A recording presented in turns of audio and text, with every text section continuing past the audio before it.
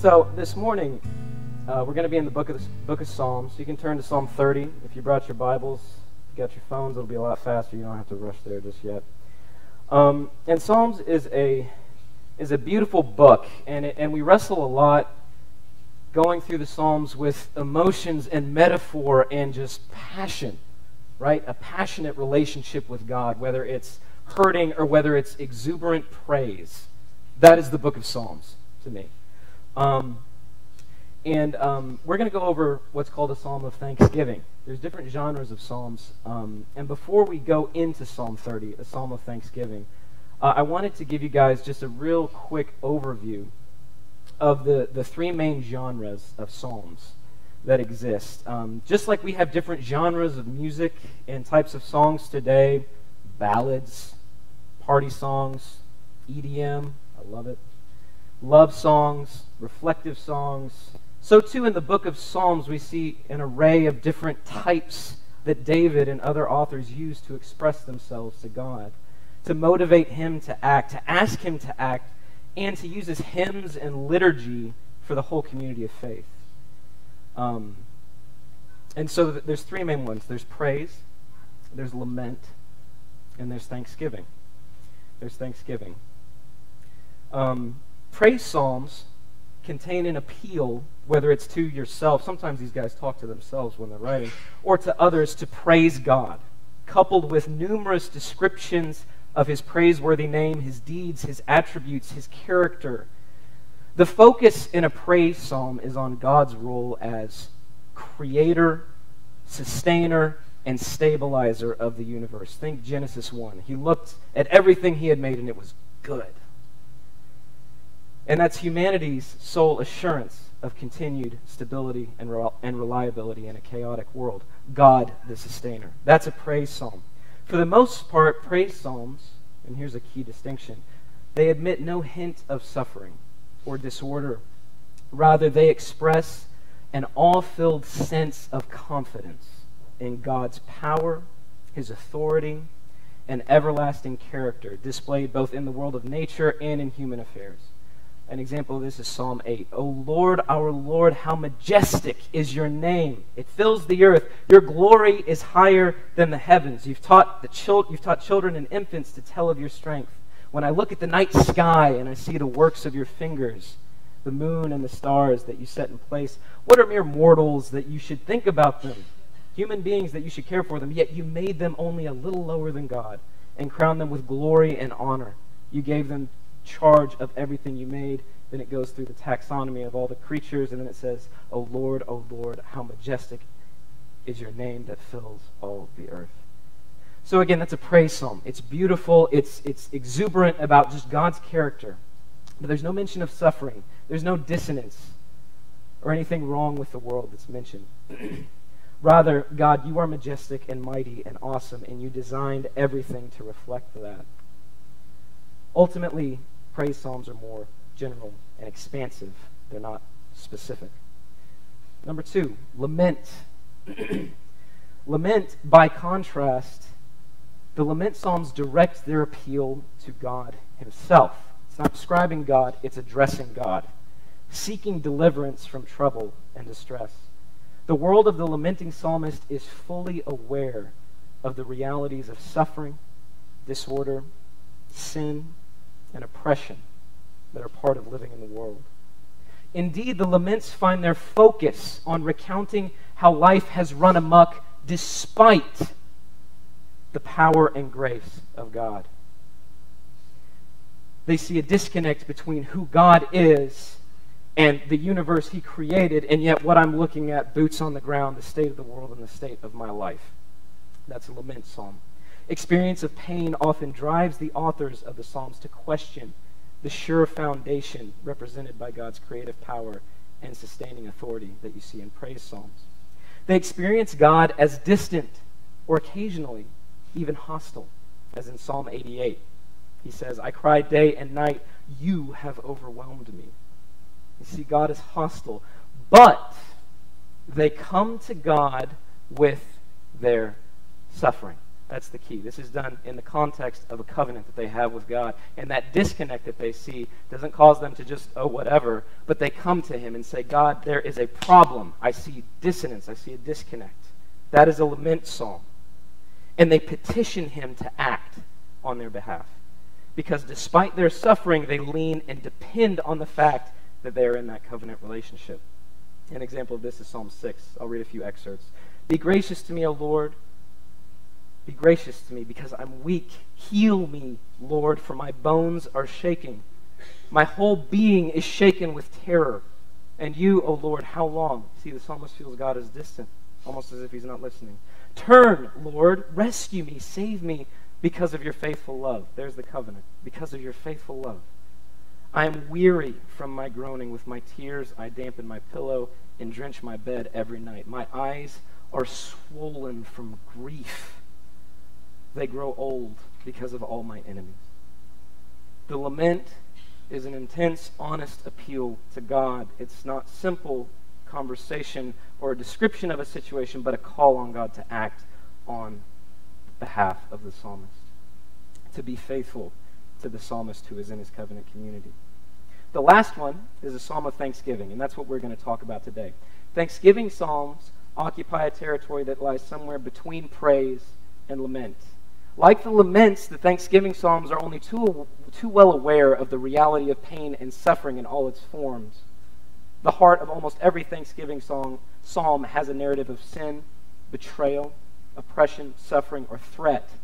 What sets it apart from a lament is that this threat, this suffering is viewed in the past. It's viewed as something that happened, and specifically that God acted to right it, that God acted to fix a situation. So, so in Thanksgiving Psalms, alongside this very real awareness of pain and suffering in life, they reaffirm a confidence in God's ability to save. So if you start with a lament, God answers, you get a thanksgiving psalm where they recount, here's what I was going through, here's what God did. It's a very specific prayer. It's a very specific prayer. Um, and it's important to remember that. They're not generic. Uh, I think sometimes we could think maybe of a, of a Thanksgiving psalm as almost like, God, thanks for being awesome today.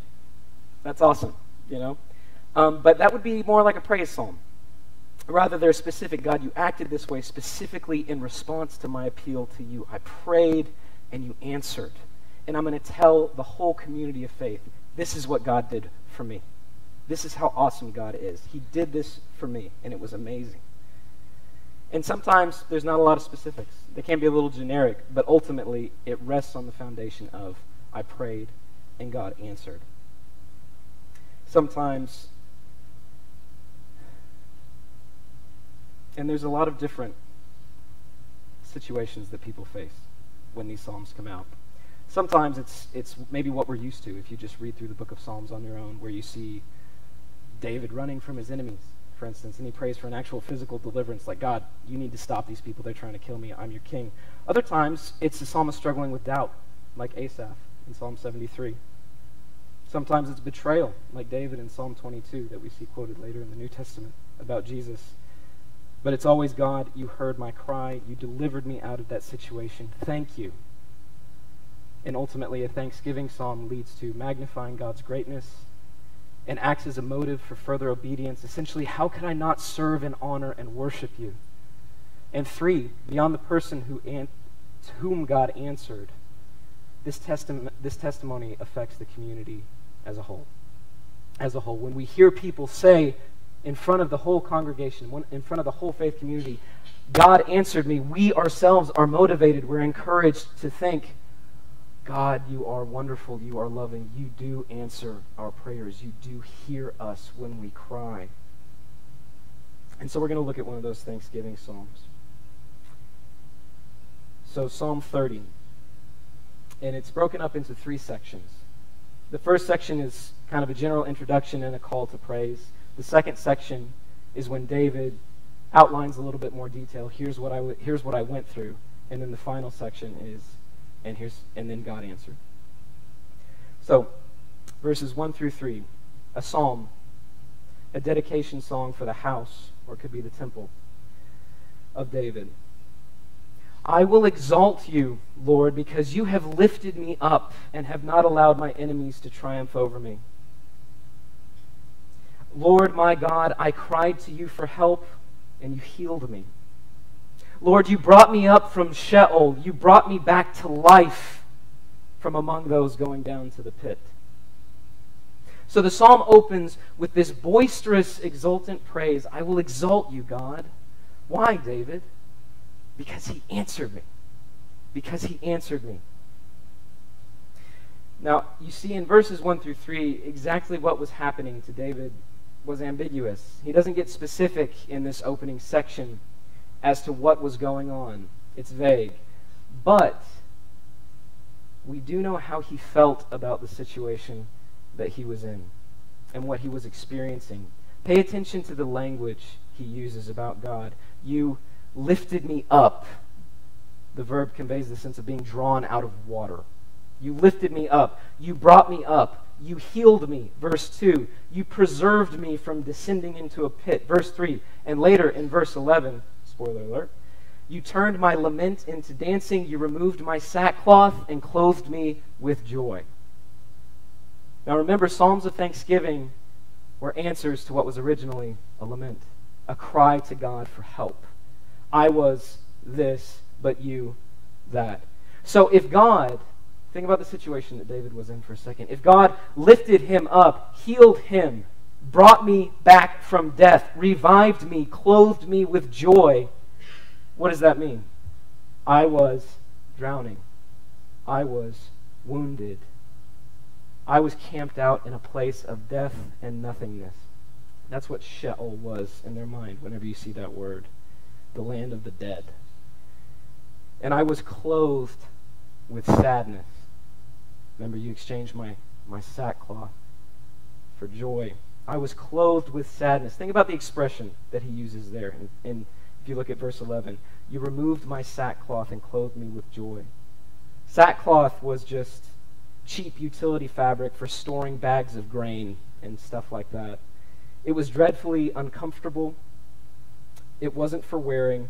It was what people put on when someone died. It was funeral clothes. It was how you let the community know you were grieving deeply a loss of someone. And when David uses that term here, it's not literal. A relative hadn't just died or something. Rather, it's a metaphor. Remember, the Psalms are poetry. It's a metaphor. He was clothed literally with grief. He was clothed with grief. Grief covered him like a jacket. He wore it around every day. I know many of us can relate to that metaphor. Walking around always accompanied by our sorrows, our griefs, the threat that we're under, as if they were clothes we wear. It's a grim picture, like the lament psalm that I read in the beginning, Psalm 6. But here David is rejoicing. Why? That deep place of darkness, God brought him out of it. At first he says, I will lift you up, God. And then in verses 4 and 5, he moves toward the whole community. You guys too. This is great. Verse 4 Sing to Yahweh, you his faithful ones, and praise his holy name. You guys. For his anger lasts only a moment, but his favor a lifetime. Weeping may last for the night, but there's joy in the morning. There's joy in the morning.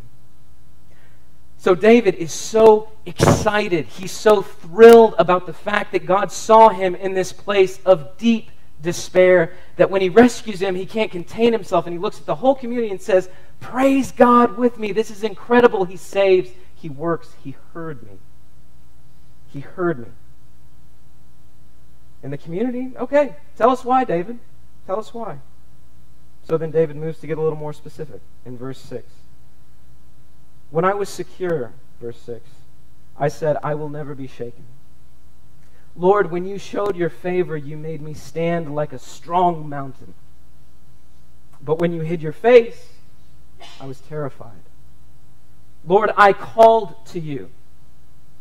I sought favor from my Lord. And he says, What gain is there in my death, God? If I go down to the pit, will the dust praise you? Will it proclaim your truth? Verse 10 Lord, listen and show me kindness. Lord, be my help. So, verse 6 When I was secure, I said, I will never be shaken.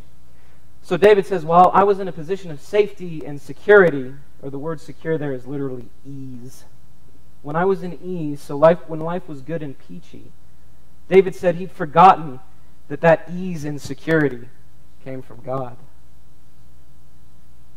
Essentially, he'd forgotten how utterly dependent he was on God for everything.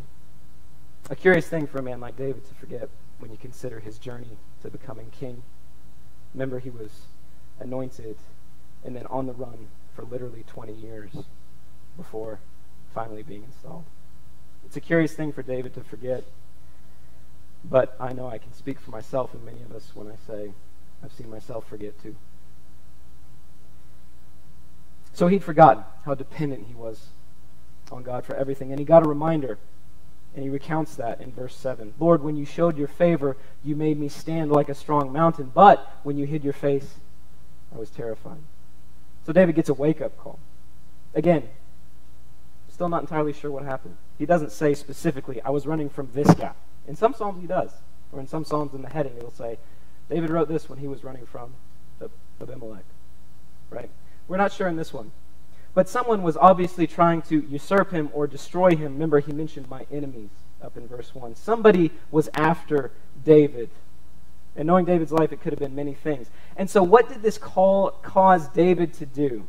He's looking at the event in hindsight. You know, I thought I was fine, but I wasn't. And so he's looking in hindsight and he said, You know, when you hid your face, I was dismayed. What did this cause David to do? To call out to God for help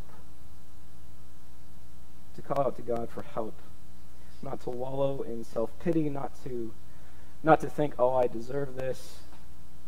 I screwed up," but to call out to God for help, and that's exactly what he does in the next verse. Lord, I called to you. I was in that situation. I was struggling. I was hurting. I called to you. I sought favor from you, my Lord, my Master. And so that verse encapsulates the lament, the cry to God. I'm drowning. I'm suffering. I'm under threat. God, rescue, save, deliver. Be you again to me as you were before. And he goes even further in verse 9 to try to motivate God to respond. What gain is there in my death, he says to God? If I go down to the pit, will the dust praise you? Will it proclaim your truth? Essentially, David is saying, God, I'm one of your faithful people. I follow you and I testify to you. I sing your praises. I exalt you among everyone. If you let this happen to me, if you let me be destroyed, if you let my enemies overcome me, who's going to do that? Who's going to do that? David is saying, God, I can't serve you in death and despair. And so you can imagine David is so confused about his position with God right now. God, why is this happening to me? I can't praise you. I know that's what I'm for. I can't praise you if I'm dead. You see the psalmist say that a lot. It's not the sort of thing that we say when we suffer, right? It's, it's, a, it's a curious thing that this was their worldview, but this was his worldview. I can't praise you if I'm dead. I can't praise you if I'm dead. David is locked horn to horn with God, wrestling through why this is happening to him. And He's expecting God to answer. And he concludes the lament as he's retelling it. This maybe wasn't the whole thing he prayed, but he's retelling it in a shortened version. He concludes it with verse 10 Lord, listen and show me kindness. Lord, be my help. Lord, be my help.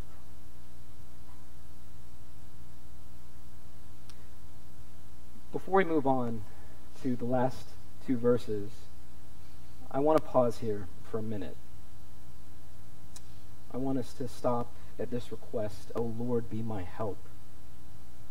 Psalms of Thanksgiving, like I said, recount the evils of the world and the suffering of God's people. And that suffering was variegated. It could be a lot of different things. But also in Psalms of Thanksgiving, there's God's wonderful, loving deliverance. But I want to stop here at the end of the request. Be my help because I know, I know that some of you, this is where you are in this process, right? You're asking God for help. You're hurting. I don't know what it is, but it ends with you feel like you're drowning. You're staring at a gaping wound in a relationship or just in your own soul. You see it. And maybe mutter the courage, muster the courage to whisper, God, be my help. And if that is you this morning, I know where you're at. I know how hard it is. I really do. Maybe it's caused you to become jaded, callous, angry, overwhelmingly sad, or just overwhelmed. And if you have, and if that is you, I want you to know that you are exactly what this psalm of thanksgiving is for. You're exactly, this psalm is speaking directly to you. This is what psalms of thanksgiving are for. And I want to encourage you to open the door for a little bit of hope right now, particularly if you're in a situation that seems hopeless.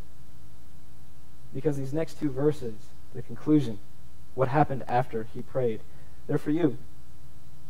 And they're coming from someone, not just any someone, but God's anointed king, King David, who had run and suffered and been betrayed and hunted for the majority of his life. This is a guy who knew what it was to suffer. That's the kind of guy it's coming from. A guy who knew suffering like almost nobody. And he wrote these verses for you. Listen to the last two verses of the psalm. Verse 11 You turned my lament into dancing. You removed my sackcloth, and instead you clothed me with not grief anymore, but joy.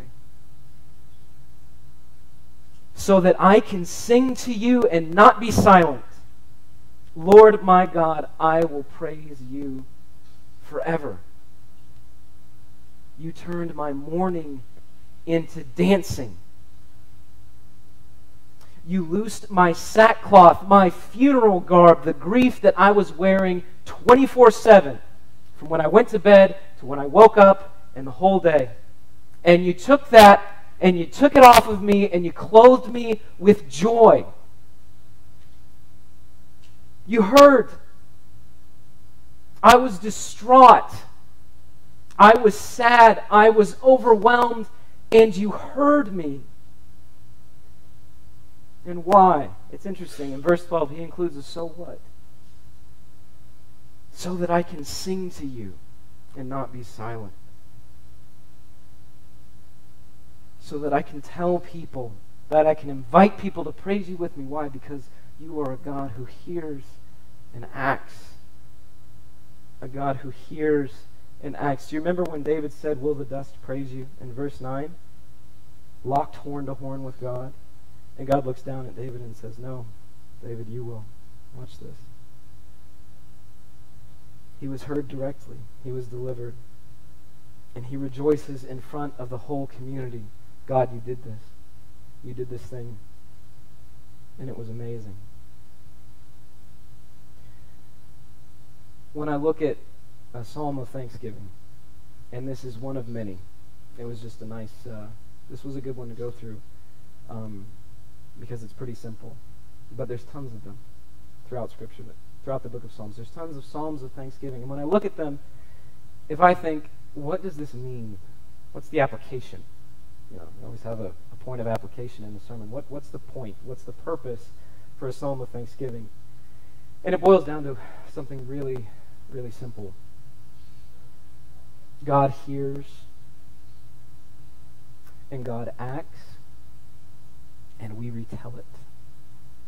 God hears. He heard David in that pit. He acts. He delivers. And then we retell it, like he says in verse 5. Sing to Yahweh, you his faithful ones. It's an invitation. an invitation to glory in the deliverance that God that God had brought about. And I know what it's like to hear that and be kind of cynical. I really do.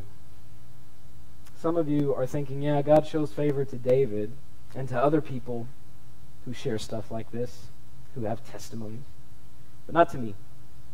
Not to me. That God is somehow partial. That someone that somehow some people just have closer relationships with God. And that's the way it is.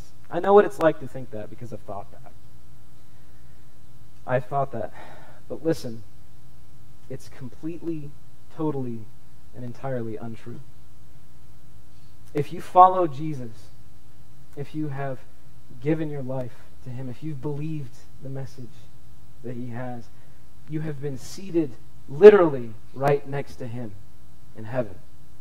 That's what Paul says in Ephesians 2. Listen to this. But God, who is rich in mercy, because of His great love that He had for us, made us alive with the Messiah, even though we were dead in trespasses. You were saved by grace.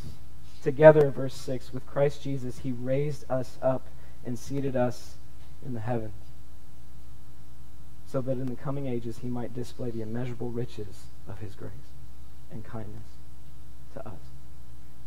Every single person who has believed. That is you. That is you. There is no hierarchy. There is no closer or further away from God when it comes to the Christian community. Each of you who has believed, all of you were brought near and are near. And whether you feel it or not right now, whether you struggle with that or if you buck against it, I did. It's true. It's true. And the access that you have is the same as Jesus himself to God. It's the same as Jesus himself. You're not beyond this beautiful, beautiful statement that David is making that God heard him. You're not beyond that. You're not too far away for that. If you have believed, he hears you. Because what does Scripture say? We become part of his family the minute we believe. The minute we believe.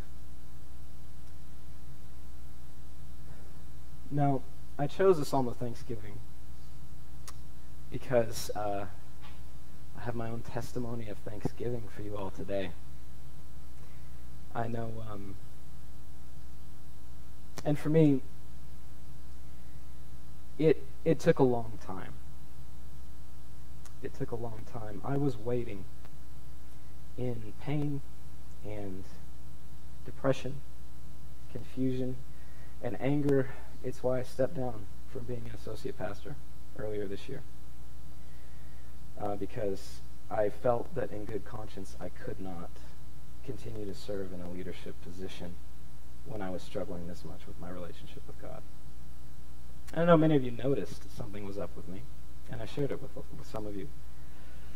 Um, David says here in verse 5 Weeping may remain for a night, but joy comes in the morning. For me, and I know for many of you, it was, and perhaps still is, a it was a long night for me. It seems like a, a trite statement. Oh, it's just wait till the sun comes up. It took a long time for the sun to come up for me. But I wanted to share with you what the Lord did for me. Um, kind of a, a brief picture of where I was coming from. I became a believer when I was 17, and there was a radical change in my life I was addicted to drugs and porn and generally an arrogant person. I was. Hard as that is to believe. Um, and then God visited that 17 year old teenager one Saturday morning in October. I guess I'm coming up on 11 years, 12 years. Math. And, and then a year later, and, and, and that was a radical change, and I bring it up because the Holy Spirit was really speaking to me. And I felt so close to God during that time in my life. And a year later, it left. It ended up with me leaving engineering school. I felt very specific. God wanted me to leave engineering school and go to Moody Bible Institute to to, to become to, to go into full time ministry, to study scripture and history and languages and everything. And so for me, from the inception of my relationship with God, He was so active in my life. He was active, and I heard Him.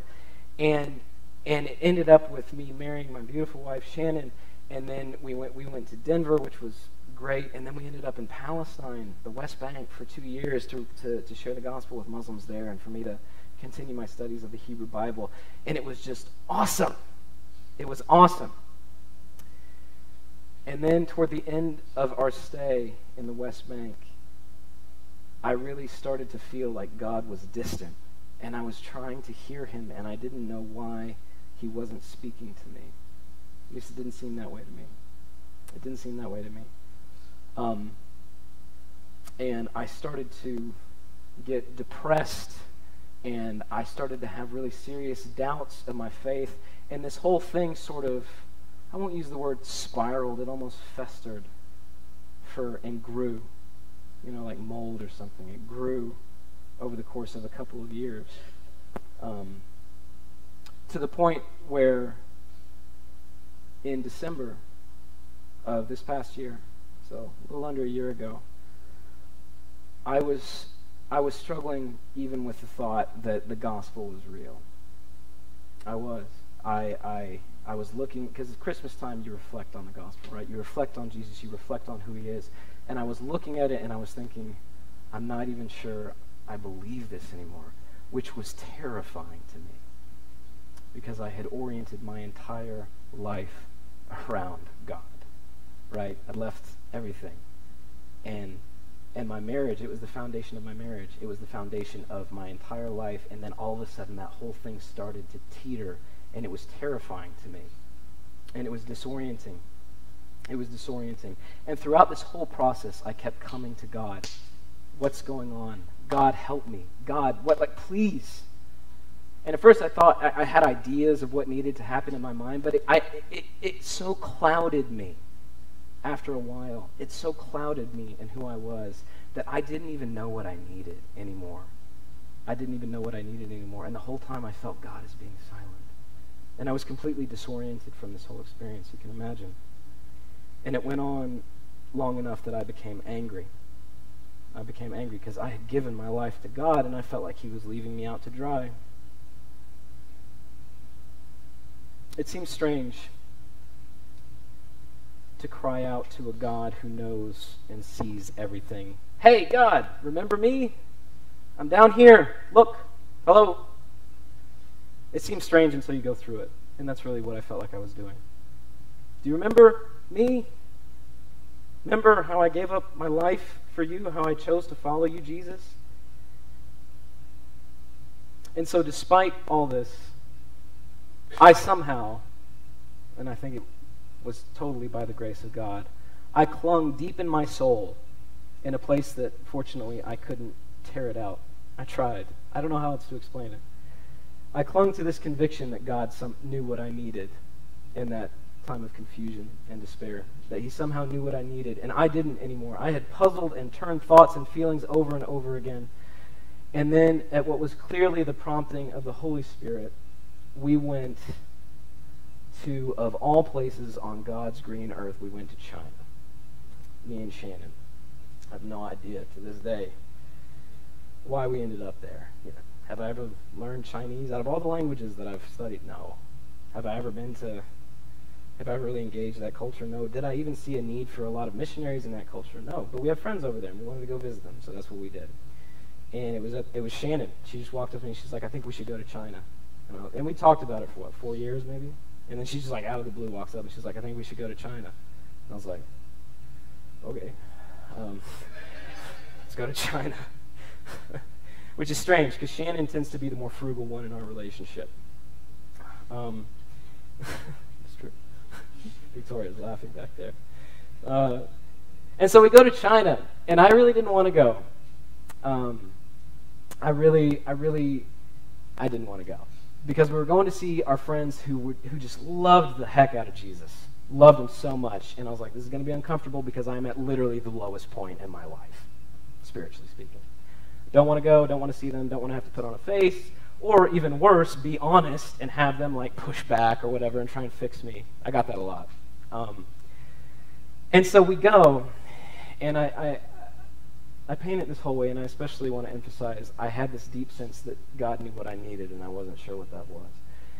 And so we're in China. We're on a rooftop of a, of a, of, of a, a missionary who was part of the team there of our friends who we were going to visit, Nova and Ira McBee. And um, I'm on a rooftop having tea with Ira and then their teammate, uh, Brad. Brad's an awesome guy. I want you guys to meet Brad. Don't know if you ever will. And so we're sitting there having tea, and we're just talking about life. I wasn't sharing much. Like I said, I was really trying to hold my cards close to my chest as far as my, where I was at spiritually. And Brad just looks at me. It was the funniest thing. He just looks at me, and he's like, George, how's your imagination? I was like, what? you know, I've never, I, nobody's ever asked me that before. I I, I, it's good as imaginations go, I guess. I, I mean, what? You know, how's your imagination? I mean, how's your imagination, Nick? Is that all right? I, you know, uh, that was my response. Nick, Nick does this. And I'm like, I don't know. It's a, it's a good imagination. He's like, all right. And so Brad felt prompted by the Holy Spirit. He told me this later. But he's like, I want you to just close your eyes for me. And I was like, okay. Close your eyes. And instead of having tea with me and Ira, I want you to imagine that you're sitting there having tea with Jesus. And then my charismatic, radar goes up, and I'm like, uh oh. but, but, but, but I, um, I decided, and I, and I, I came at this from the position of, I'm going to engage this, even though this seems really weird. I'm going to engage this. So I was like, all right, I'm going to have tea with Jesus, Brad. Um, so Jesus is sitting across the table from me, and he tells me, Brad tells me, all right, I'm going to kind of walk you through an experience.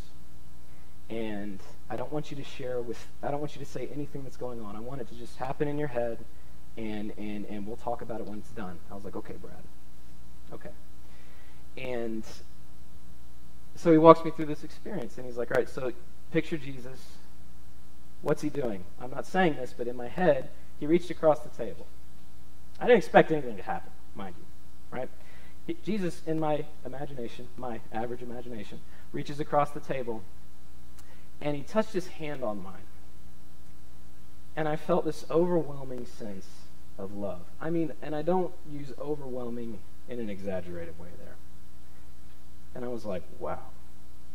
And then Brad says, all right, Jesus takes a piece of paper, he writes a word on it, he flips it upside down, and he slides it over to you. Again, I'm picking this thing apart, and I'm like, okay, this is where psychologically it's going to be something like love or hope or, you know, whatever. Because, like, that's the, again, I'm engaged, but cr- critiquing at the same time. And so he slides the piece of paper over to me. And he's like, I want you, and then Brad's like, I want you to pick it up, flip it over, and read it. So I do this in my imagination, keeping this all to myself. And the word on the piece of paper was fear. It was fear. And so my first thought was, I'm doing this wrong. It was supposed to be, it was supposed to be love. It was supposed to be hope. You know, I'm doing this wrong. But it was fear. And then we go through the rest of it. Oh, uh, this, this is turning into a long story. My apologies. But we go through the rest of it, and it ends. And then Brad's like, All right, George, tell me what happened. And then Ira, my friend sitting there next to me, looks at me and he's like, George, before you say anything, before you say anything, I want you to know, excuse me, I want you to know that the Holy Spirit carried me through that entire thing with you. And I was like, okay. And then he looks me in the eye and he says, the word on your piece of paper was fear. Was fear. Right? Can you imagine? And so I'm sitting there and just overwhelmed with this verification for me that, like, God is right here next to me and He notices me. It was just indisputable. We hadn't been talking about fear, we hadn't even been talking about my life. I hadn't shared anything that I was dealing with. And fear spoke to me very personally for different reasons. But and it was unexpected. But when Ira looked at me and said the word on your piece of paper was fear, it was just like if everything wasn't enough, God was like, I am right here next to you. I am right here next to you. And I sensed it, and I sensed that familiar presence of joy and love that I had been missing, that I had been longing for. And if you ask me, like, okay, so why did you go through that whole period? You know, those, those two, three years of really struggling and stuff. I mean, there could be a thousand reasons. I don't know. People are complicated. Anybody who studies psychology knows that people are complicated. But it was exactly what I needed. I did not know that that was what I needed, but I can't I can't express to you how perfect that was and how that reset me spiritually. Knowing that God was there and that like he cared and that he saw me and that he loved me, sensing that, knowing that. And that's what I wanted to share with you. That's why I wanted to share a psalm of thanksgiving with you. Because God did this for me. And I know, again, my position in the church was, was weird for a while after I stepped down because people were like, what's wrong with George? There was a lot wrong with me, but I'm here to tell you that God heard me. It took years, and God heard me. And now, as Shannon likes to put it, I feel like I have my husband back. You, you kind of do, you know? I feel like I have my husband back because God answered those prayers in, in those deepest, darkest nights of my soul, and it sucked, and I was weeping nights. I'm telling you, it was awful. God was there. He saw me. He was next to me, just like Scripture says. He's near to what? The brokenhearted. He's near to the brokenhearted. And I want to encourage you. I don't know where you're at in this process if you're grieving. I don't know what you're going through. I don't know how long it's been. I don't know how hard your marriage is. Our marriage struggled during this period. It was hard. It was really hard. I don't know what it is that you're going through. No believer, no you who are a member of the covenant community of God through Jesus Christ, He is right next to you. He hears you. I don't know what your answer is going to be. I don't know how He's going to speak to you. Might be totally different. Probably will be. That was just for me. He knew what I needed. He knows you. He knows you. He hears you. He's next to you. And if you're in the middle of that dark night, be encouraged. Be encouraged that He hears you.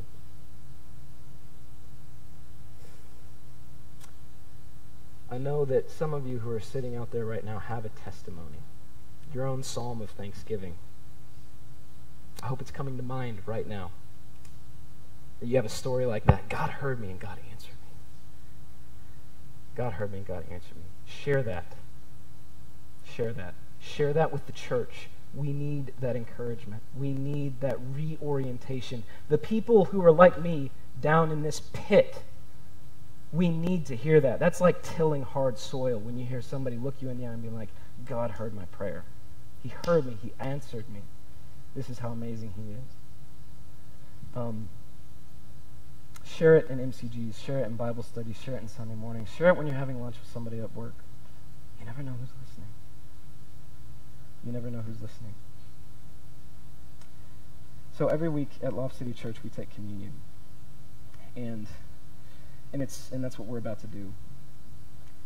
And in its own way it functions as a testimony to us, a tangible tasting where we are reminded that our God is so loving and so active in our lives. We're reminded that He suffered and died for us. He entered into our suffering and pain and died just so that we could be reconciled to Him and know Him. That's the gospel. That's the gospel. It's the most tangible testimony of His deep, deep love for you and for me and for your kids, for your coworkers, for your neighbors, for anyone. That is the most tangible testimony of his love, way beyond my experience that I just described. David knew deep sadness and suffering as a man of God, and he shouted from the rooftops when God delivered him. Jesus is even more familiar with your suffering, with your hurt, your wounds, your feeling overwhelmed, your anxiety, your fill in the blank in the familiar passage from Isaiah 53, Isaiah puts it this way He was despised and rejected by men, a man of suffering. A man of suffering. Imagine if that's what people called you. Who knew what sickness was. He bore our sicknesses, He carried our pains. He was pierced because of our transgressions. That same Jesus who we remember when we take communion. We remember his torture and death for us, for our sake, so that we would be forgiven, but more than that, so that we would be whole, so that we could and would know God. And we remember that now. If you know Jesus, actively remember through this. If you know Jesus, actively remember through this. Speaking of Psalms of Thanksgiving, it's interesting that the theological word for communion used by scholars and theologians is the Eucharist. It's a big fancy word, but it's just Greek for Thanksgiving. The table of Thanksgiving. Friends, I invite you, remember him not only as the one who died for you 2,000 years ago, but as the one who is in this room right now, speaking to you, drawing you, smiling on you, suffering with you. He hears. That is the conviction of a psalm of thanksgiving. That was David's conviction. He hears, and I'm going to tell you about it. He hears, he sees, he sees. In another psalm of thanksgiving, David says, Taste and see that the Lord is good. If it's you who feels like I'm the one who's distant, I'm the one who feels like God answers that for other people, but not for me, taste and see that the Lord is good.